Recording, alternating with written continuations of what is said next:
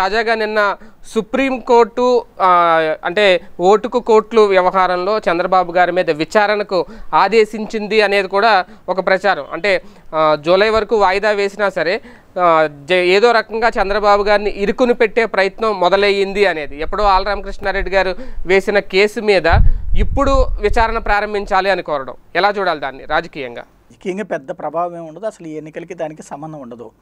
రెండోది ఏంటంటే చంద్రబాబు గారి దాని మీద విచారణకి స్టార్ట్ అయిన రోజు మాట్లాడుకోవాలి. ఆయన్ని ఆయన దగ్గర ఒకటి గొప్ప మెచ్చుకోవాల్సింది ఏంటంటే ఒక్క కేసు కూడా ఆయన మీద ఎఫ్ఐఆర్ నమోదు కాకుండా చూసుకోవడంలో సక్సీడ్ ఆయన. ఆ, ఛార్జ్ షీట్ కోర్టు దాకా ఆయన వెళ్ళినటువంటిది లేదు. అది మేనేజ్ చేశారందామా లేదు ఆయన దగ్గర ఉన్నటువంటి ఆయన మంచోడు అందామా? అది ఎవరిష్టం వాళ్ళది. కాబట్టి ఏం జరగలేదు అందామా? అవినీతి జరగలేదు అందామా? ఇవన్నీ కాబట్టి పబ్లిక్లో అంత పెద్దగా సీరియస్గా పోదు అది అంటే కానీ అదే ఇప్పటి వరకు విచారణ ఎందుకు చంద్రబాబు గారి పేరు నిందితుడిగా చేర్చలేదు అనే ఒక అభియోగానికి సుప్రీం ఏకీభవించినట్టే చూడొచ్చా ఇక్కడ?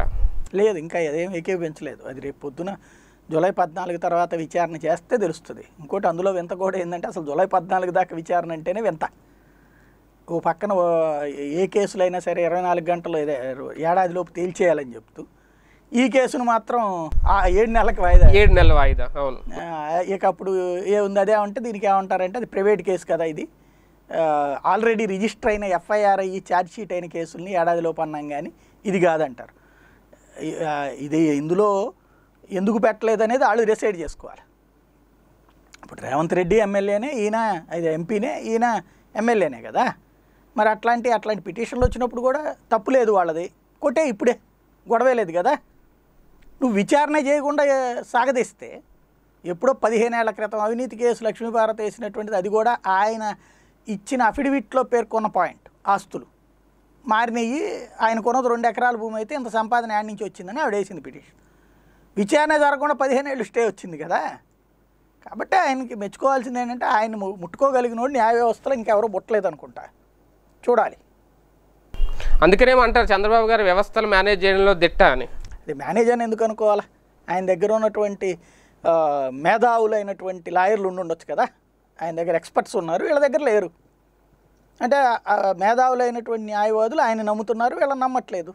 అట్లా కూడా అనుకోవచ్చు. అంటే జూలై తర్వాత విచారణ ప్రారంభమైన తర్వాతే అప్పుడు ఒకవేళ ఈయన ఉన్నారని అనుకుంటే అప్పుడే ఆ వాయిస్ కాల్లో లీక్ అయిన బాస్ ఎవరనేది బయటపడద్దా? అప్పుడు దాకా చంద్రబాబు గారు కాదు అని అనుకోవాలా?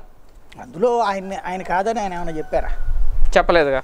టీడీపీ కూడా ఏమంటుంది? వాయిస్ అయింది. ఏమన్నారు? మీ ఇష్టం మీరు నిర్ణయం తీసుకోండి అన్నారు. నేను విన్నాను మీరు నిర్ణయం తీసుకోండి అన్నారు. అందులో క్రిమినల్ ఇంటెన్షన్ లేదు కదా అంటారు. కాబట్టి భాష ఆయనే. ఆయన మీద కేసు పెట్టాలా లేదా? ఎందుకంటే డబ్బులు ఇచ్చింది రేవంత్ రెడ్డి కానీ దానివల్ల ఒక ఎమ్మెల్సీ వస్తే వచ్చేది రేవంత్కి కాదు కదా. పార్టీ ఉమ్. కాబట్టి నా మాట్లాడింది చంద్రబాబు కాబట్టి నడిపించింది ఆయన. అది నేరమా కాదా అన్నది ఏసీబీ కోర్టు తేల్చాలి.